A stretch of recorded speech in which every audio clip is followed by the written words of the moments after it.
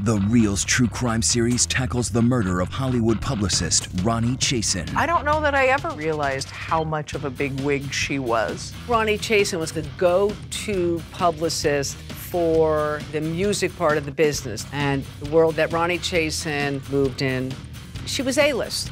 But the Hollywood elite are often the victims of mysterious crimes. Some unknown individual shoots her four times in what was most definitely an ambush. How did this happen on the most famous street of Beverly Hills? I was just in shock, completely in shock.